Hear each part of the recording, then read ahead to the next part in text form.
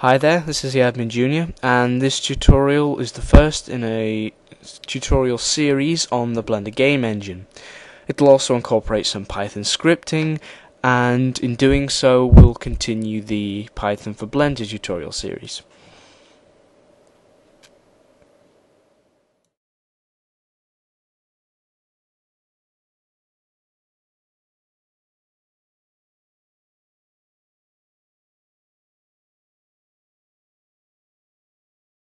Game creation is all about understanding the fundamentals and also about collaborating with other people. It's very much a, a team exercise, as it were.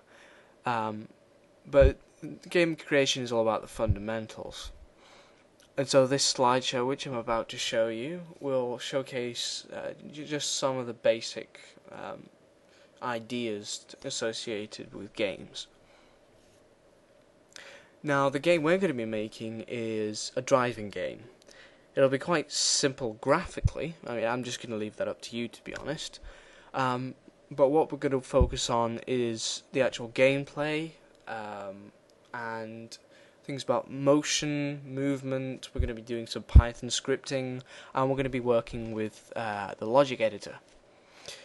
So, to start off with our little presentation, we have the traditional model now, because this we're creating a driving game, um, this is all going to be based upon uh, the accelerator pedal inside a car. So, in real life, uh, RL, um, we have an accelerator pedal, and when we press the pedal, in real time, as soon as we do it, the car accelerates. The two are dependent upon the other. In the game world, things work a bit differently.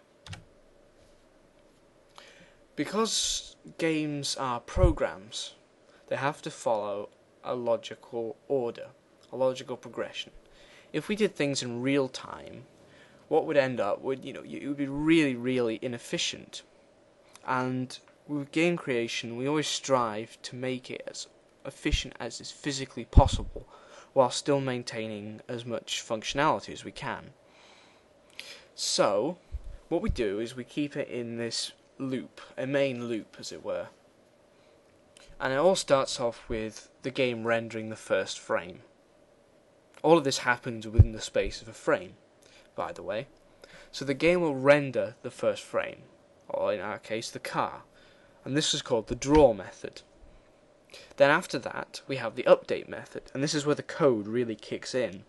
And what we do is we apply things like physics and we check for whether you know, user controls, whether the uh, forward button is pressed, the space bar is pressed, whatever.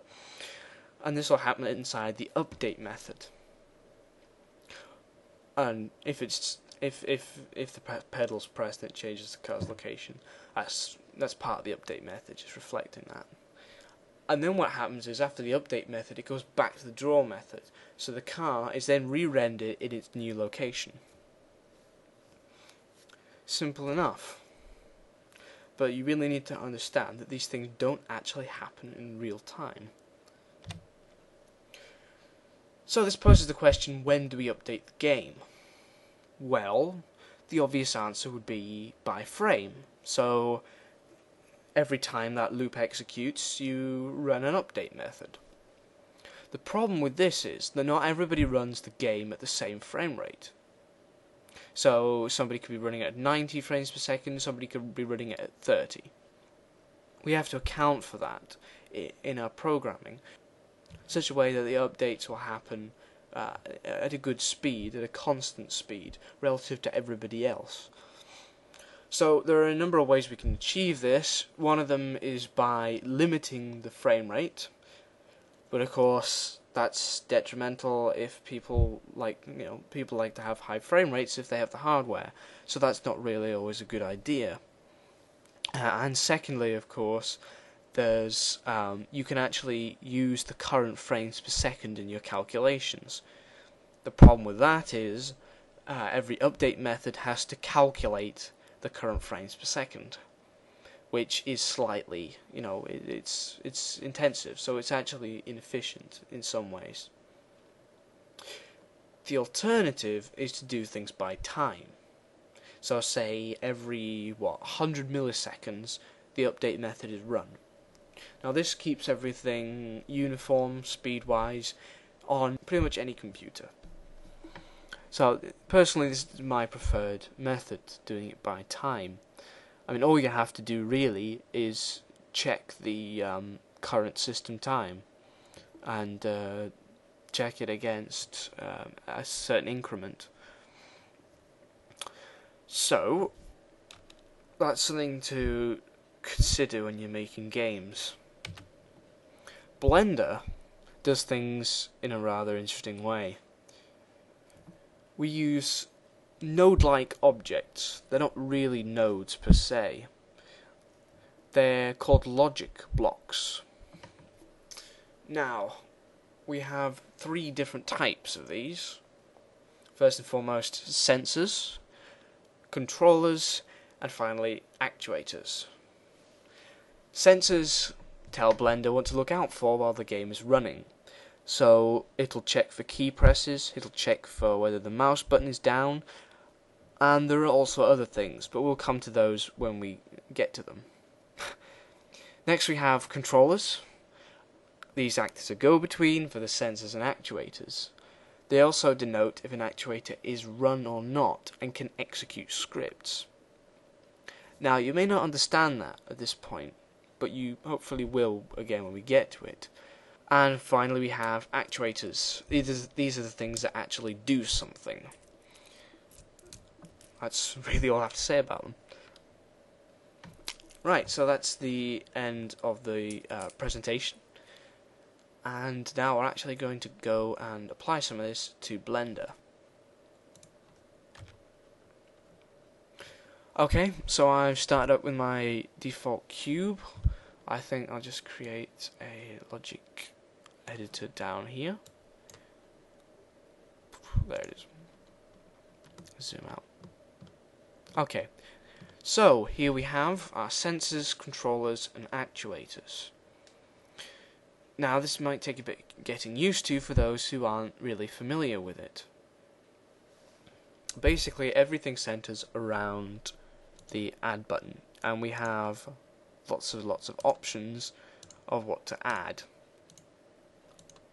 So I'm just going to show you a very simple example of moving a cube upwards uh, using the spacebar. So I'm going to add a new sensor, it's going to be a keyboard sensor.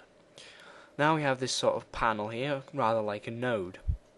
We can give it a name, and I would, when you're actually doing it properly, I would definitely, I, I hate name, naming things, to be honest. I find it really boring, and I don't do it usually. But when you're doing, when you're actually making proper games, or at least having attempt, um, you you really do need to actually name them, because things can get really cluttered otherwise. So I'm going to pull a space press or something, I don't know. So what we have here is this little panel um, to do with frequency, which we're going to leave alone for now. Key, of course, you designate which key to check for. And if you click on this button here, sort of toggle button, then it asks you to press a key, press a key, and it's assigned. Modifiers are things like uh, Control, Alt, Shift. So you can have Control as the first modifier, Alt as a second modifier. And we can just ignore um, Target and Log Toggle for now as well. Right, so now we've got our sensor set up. Next we move on to our controller. Now basically, if in doubt, use an AND. We have a selection of some um, well, gates, operators, boolean operators, whatever you want to call them. Um, I'm just going to select AND. Again, I will go over these in more detail at some point and I'm going to select a motion actuator from here. Now, like nodes, we link these up by clicking and dragging from hole to hole. Like that. There we go. So these are all now linked up and will work. So we come to the motion node, logic block, whatever. Um, I'm just going to use simple motion. These two here are very important buttons, actually, toggle buttons, and they denote whether the actual motion is local or global. Now, 9 times out of 10, you're going to want local motion. So, if the cube was rotated because it knocked into something, it would actually, you know, it's a difference between going upwards like that and rotating the cube you know so its its top face is actually pointing in this direction but if we do it globally it's still going to move upwards like that if we do it locally it will actually move like that so there's a it's a you you do need to know the difference between global and local movement just in general so here we have x, y, and z values for location and rotation. Now, Blender does things by frame. So, um, so the update method is called by frame. You can think of this logic uh, editor thing here as basically the update method. It checks to see if something's checks to just check something, and it just and then it affects the properties, and then it's drawn in the draw method. So this is really the update method here. So I'm just going to affect the Z location locally by 0.03 I think. And that will do for now. If you want to see more extended options with the cube, don't forget to swap the engine up here. So we'll have other different render engines like eventually Lux Render and I finally get Lux Blend 2.5 working properly um, Povray, uh, the, the Blender render, just render engines. If we select Blender Game from here, then we have well, some really cool different options here. So we've got some sound, some shading. I would always uh, advise selecting GLSL. That's um, a more recent modern technology. We now got we got physics down here as well now. So we're to choose a physics engine you can actually, I believe, make your own custom physics engines. I mean, I do make physics engines, but not for Blender, because I use uh, C Sharp rather than Python. So uh, I don't really make my own custom ones. And under the, um, where, where are we? Let's have a look. There somewhere. Yeah, under physics, we can now change the physics type. So I've got uh, a couple of different ones here. And I'm just going to keep it static. Right. Now if you go back to the render settings, render tab thing here, um, if we if we uh, tick frame rate and profile, we should be able to see the frame rate. And I'm just going to press the start game engine. Now, because we've checked frame rate and profile, we sh now should have some frames per second up here. So we're running at a sturdy 50 frames per second. Well, 45. Um, and it's also showing the percentage usage of the CPU, I think, actually, uh, for physics, logic networks, scene graphs, sound, rasterizer services overhead, and outside. Again, none of these are particularly important at the moment. Won't really have to worry about it. Okay, maybe not. CPU usage is rasterized as 98%. It must be just resources. Okay, so at the moment, we've got our cube here. Now, it is completely white. If I go back to 3D, 3D view port and rotate it, you can see it's completely white. This is because it just takes the data from textured. And although this is black here, it makes it white. So what we need to do is add a light source. And we do this just as we would normally. Lamp. I'm going to use a point lamp as opposed to a spot or anything because I do for games. And if we now add the point lamp, we can see we've got some proper shading going on. So, now we're going to test if our whole spacebar thing coupled to the simple motion is going to work properly. Press P to start the game, and press the spacebar. There we go. We can see the cube move and in fact the shading, shading update as well. Excellent. So that's really your first game. The next tutorial will be a more in-depth look at the logic editor, uh, looking at some of the different logic blocks, and we're actually going to start doing some Python programming as well.